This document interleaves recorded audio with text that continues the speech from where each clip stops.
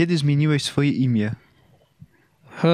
Zmieniłem imię, to było przy pierwszych ślubach. I to imię Jan. Jan Tak. Apostoł jest Jan, patronem. Jan Apostoł jest moim patronem. Czy tą zmianę łączyłeś jakoś y, z tą ewangeliczną y, sceną, która, którą opisuje święty Jan w swojej Ewangelii, kiedy to Jezus z krzyża daje y, Maryję Janowi za matkę? E, Tak, mogę powiedzieć, że e, moje imię jest związane z dwóch e, scen.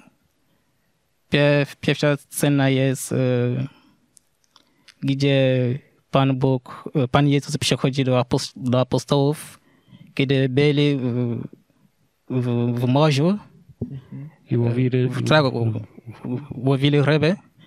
I Jan Apostoł był na, na, na brzegu, nie?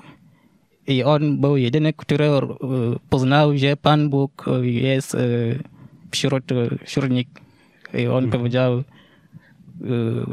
Piotrowi, że to, to, To jest Jezus. to Jezus. Mhm. On rozpoznał, rozpoznał, on poznał. Jezu, Jezusa w życiu. Mhm. I ta druga scena?